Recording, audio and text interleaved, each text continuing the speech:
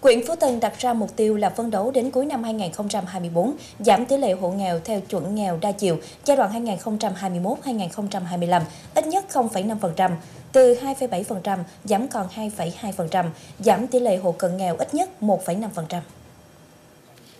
Để thực hiện có hiệu quả chương trình mục tiêu quốc gia giảm nghèo bền vững, huyện Phú Tân đã tập trung chỉ đạo các ngành chuyên môn phối hợp với các địa phương tập trung thực hiện lồng ghép có hiệu quả các chương trình kế hoạch phát triển kinh tế xã hội của huyện với công tác giảm nghèo, an sinh xã hội, xây dựng triển khai nhân rộng các mô hình giảm nghèo, tiếp tục thực hiện hiệu quả các đề án nhân rộng mô hình câu lạc bộ liên thế hệ tự giúp nhau, chương trình mục tiêu quốc gia giảm nghèo bền vững, dần dần Bên cạnh đó, nâng cao năng lực điều hành của cấp cơ sở, đổi mới phương pháp lập kế hoạch giảm nghèo trên cơ sở thực hiện tốt việc lồng ghép các nguồn lực giảm nghèo trên địa bàn, đồng thời nâng cao năng lực và điều kiện làm việc cho đội ngũ cán bộ cơ sở để đáp ứng được yêu cầu nhiệm vụ, tổ chức tốt công tác điều tra, rà soát, cập nhật hộ nghèo định kỳ và thường xuyên trong năm, tăng cường công tác giám sát và đánh giá chương trình giảm nghèo.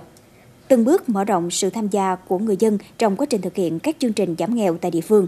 Cùng với đó, quyền đẩy mạnh tuyên truyền, giáo dục cho người nghèo về ý thức tự lực dâng lên, không trông chờ ý lại vào sự trợ giúp của xã hội và nhà nước tăng cường hơn nữa sự phối hợp của các ngành các cấp cùng cộng đồng tham gia thực hiện chương trình giảm nghèo ngày càng có hiệu quả hơn, khuyến khích cộng đồng xã hội chia sẻ khó khăn cùng nhà nước quan tâm chăm lo cải thiện điều kiện vật chất và tinh thần cho hộ nghèo, các đối tượng xã hội cần trợ giúp, tạo mọi điều kiện để họ dâng lên thoát nghèo bền vững.